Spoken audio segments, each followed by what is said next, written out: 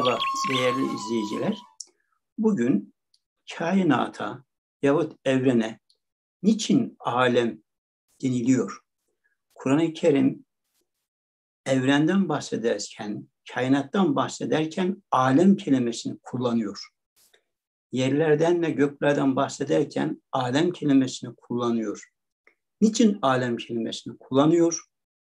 Alem ne demek? Kainat gerçekten alemler midir? Alemler ise eğer biz alemler kelimesinin kullanılmasından hangi mesajları çıkartmalıyız pratik hayatımız açısından? Bunların üzerinde çok kısa bir tefekkürde bulunacağız. Evet, Kur'an-ı Kerim yerden ve göklerden bahsederken, kainattan bahsederken alem kelimesini kullanıyor. Hem de Kur'an en başında kullanıyor. Hepimiz biliyoruz ki Fatiha suresinde Bismillahirrahmanirrahim Elhamdülillahi Rabbil Alemin derken hamd alemlerin Rabbi olan Allah'a mahsustur buyruluyor. Orada alemlerden söz ediliyor. Kur'an-ı Kerim'de mesela Rabbus semavat vel ard ve ma beynehum. Allah yerin, göklerin ve ikisi arasında olan her şeyin Rabbidir buyruluyor. Buradan hareketle alimler diyorlar ki Evet, Kur'an-ı Kerim yer, gök ve ikisi arasında olan her şeyi alem kelimesiyle aynı zamanda ifade ediyor. Çünkü alem alamet koymak, işaret vermek, nişan koymak anlamında alim kökünden geliyor. Dolayısıyla alemde yani fiziki dünyada her şey yaratıcıya alamet olduğu için, şahit olduğu için delil olduğu için Kur'an-ı Kerim yerden ve göklerden bahsederken, varlıklardan bahsederken alem kelimesini kullanıyor, deniliyor. Bir başka açıdan da e, alem kelimesi ilim kelimesiyle ilişkilidir diye bir yorum var. O da bilmek anlamına geliyor ya ilim. E, eğer alem kelimesini ilim kelimesiyle irtibatlandırırsak o takdirde yine o fiziki dünyadaki, evrendeki her şey saniini bildiriyor. Ustasını bildiriyor, yaratıcısını bildiriyor. Bu nedenle alem kelimesi kullanılıyor diyebiliriz. Şimdi iştahat ve icazdan bununla alakalı bir bahsi çok kısa olarak birkaç cümleden ibaret okuyacağız. Diyor ki müellif iştahat ve icazda kainatın yani bütün bu varlık dünyasının alem ile tesmiyesi, isimlendirilmesi kainatın saniine olan, ustasına olan delaleti, şehadeti, işareti içindir. Demek ki kainata Kur'an neden alem kelimesini ıtlak ediyor? Alem kelimesini kullanıyor. Çünkü her şey alemde yani dünyada ve göklerde bulunan her şey yaratıcıya delalet ediyor, onu gösteriyor, şehadet ediyor, ona tanıklık yapıyor ve e, ona işarette bulunuyor. Demek ki Kur'an-ı Kerim'in her şeyi alem olarak anmasının ana sebebi bu. Şimdi baktığımız zaman biz bir dünyada yaşıyoruz. Yer küremiz var. Yer küremizin de dahil olduğu güneş sisteminde onun, güneşin etrafında dönen gezegenler var. Sonra gök adaları, e, galaksiler var yukarıya doğru gittiğimiz zaman. İşte içinde yaşadığımız dünyadan e, gezegenlere, yıldızlara, galaksilere kadar bütün varlık alemi, varlık dünyası ve enerji yapıları kainat diye adlandırılıyor. Bir başka ifadeyle kainat yahut evren duyu ya da akıl yoluyla kavranılabilen ve mevcudiyeti yani var olduğu düşünülen bütün varlık ve olayların tamamı diye tanımlanıyor. İşte Kur'an-ı Kerim bütün bunlara alem kelimesini ıtlak ediyor. Çünkü alem işaret, nişan koyma, belirti, iz bırakma anlamına geliyor. Buradan hangi sonuç çıkıyor? Şu sonuç çıkıyor.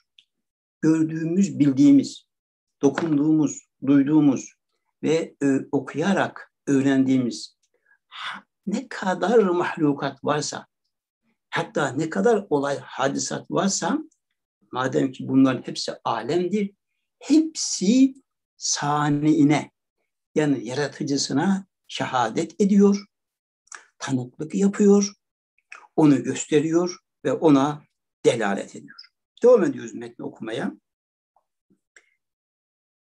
Binaenaleyh kainatın uzuvları da ve evrenin saniye olan yani ustasına olan delaletleri, şehadetleri bir alem olmalı icap eder. Öyleyse saniin yani sanatkarın, şu fiziki evrenin ustasının uzuvları terbiyesinden ve o uzuvların da saniyi ilan etmelerinden, bildirmelerinden anlaşılır ki o uzuvlar yani evrenin her bir parçası, her bir organı deyim yerindeyse birer hay canlı, birer akil, adeta akıl sahibi, birer mütekellim, konuşan suretinde tasavvur edilmiştir. İşte bizim bu e, kullanımdan alacağımız mesaj tam da bundan ibarettir. Yani gördüğümüz, görmediğimiz, bildiğimiz, bilmediğimiz her şeye, Allah'ın gayrındaki her varlığa biz Allah'ı gösteren, Allah'a şahitlik eden, Allah'a delalet eden varlıklardır diye bakacağız. Allah'ın mührünü taşıyor. Onun işaretlerini taşıyor. Hani firmalar bazen ürettikleri materyalin altına küçük bir işaret koyarlar ya öyle de değil. Ya varlığın kendisi şekliyle, özelliğiyle, sahip olduğu nitelikleriyle adeta yaratıcısının imzasını taşıyor. Beni icat eden var. Bana bu şekli veren var. Bana bu özellikleri veren var. Bana bu güzellikleri veren var diyerek hep saniyinin yani ustasının alametini taşıyor üzerine. Uzatmayalım. Pratik olarak demek ki biz evrene baktığımızda, kainata baktığımızda, kendimize baktığımızda, etrafımıza baktığımızda baktığımız her şeyi ustasına, saniine, yapanına bakan boyutuyla bir şahit olarak göreceğiz. Bir delalet edici işaret olarak göreceğiz. Bu bizi neye götürür? Bu bizim sürekli imanı yaşamamıza vesile olur. Sürekli olarak Rabbimizle baş başa olma keyfiyetine bize ulaştırır bu. Seviyemize göre, derecemize göre. Çünkü her şey onun işaretidir. Her şey onun alametidir. Her şey onun tanığıdır ve her şey onu gösterir. En başta kendimiz. Denir ya alemde bir açıdan ikiye ayrılır. Aleme esvar, küçük alem insan, alem ekber şu kainat. İster aleme esvar olan, küçük alem olan kendi varlığımız, ister aleme ekber olan bütün bir evren Allah'ın baştan başa kadar her biri, her bir cins, her bir tür onun şahididir, onun delilidir, onun nişanını bize taşımaktadır. O halde bizden kendimize, etrafımıza, varlıklara, kainata bu gözle bakacağız. İlahi alametler bütünü, ilahi şahitler bütünü olarak bakacağız ki imanımızı sürekli canlı olarak yaşayabilelim.